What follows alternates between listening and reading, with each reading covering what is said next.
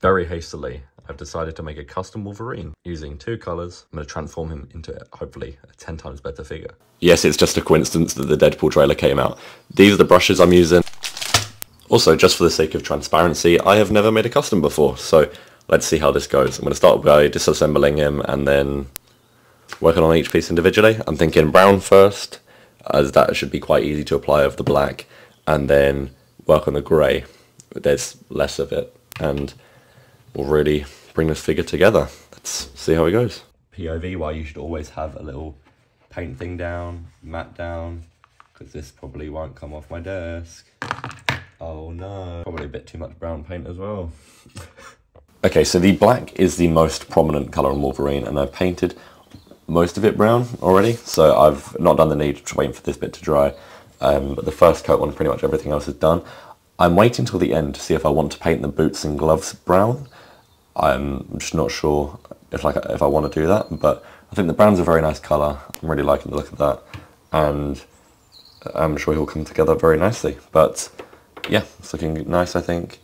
Um, that's arms are going to look like in there. I decided against painting the joints, which I think is a bit redundant. Um, yeah, but I'm going to try and somehow sort out the butterfly joint because it's still extremely loose. So I'm going to still try and like figure out a way to tighten that. Um, maybe the paint itself will thicken up the joint. Yeah. Anyway, brown looks good. Uh, head sculpts, I'm going to keep black ears because I like black ears and then I'm going to paint the grey to a yellow. I'm thinking more of this kind of yellow for the moment, kind of a, like a subtle yellow rather than this one. I may go for a mix, who knows. I ran out of storage, but all the colours are down on Wolverine now. I'm keeping these bits black, the bit on the head black, and the belt black, but the rest of it is going to look like that. I need to get a clear coat and do a couple more layers on this, but this is looking nice. So this is the craft sealer I got. Hopefully it's good. I mean, it might break through Wolverine, but who cares? Wolverine is now currently drying, but I thought whilst I'm here, I might as well change Deadpool. Just so you're aware, everything on this figure is going to be painted with this red by Game Color Vallejo. The white in the eyes will be done with this. Now I'm going to do the most painful step. I'm going to whiten the eyes on every head. Now I coined this in my Warhammer miniature painting days. This is the Jack Learney slap it on, scrape away technique. Grab anything sharp, Slap on that paint. You see how bad the eyes looked? Oh, how Jack did you get it like that? Oh, I just grab the tweezers and I just get rid of all the excess. And that, my friends, is how you do good eyes on action figures, I guess. I used to do it on miniatures, and now I do it with Mafexes. It's a bit of a price increase, but you'd be confident with it, and everyone thinks you're a pro. I've painted two figures in my entire life.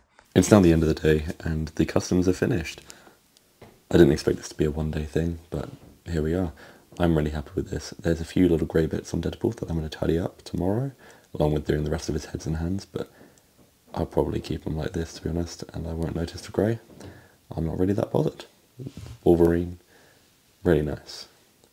My least favourite out of the two, the Deadpool just looks perfect to me, but I really like the suit. I like the colouring, I like the black throughout the boots gloves, belt and headpiece.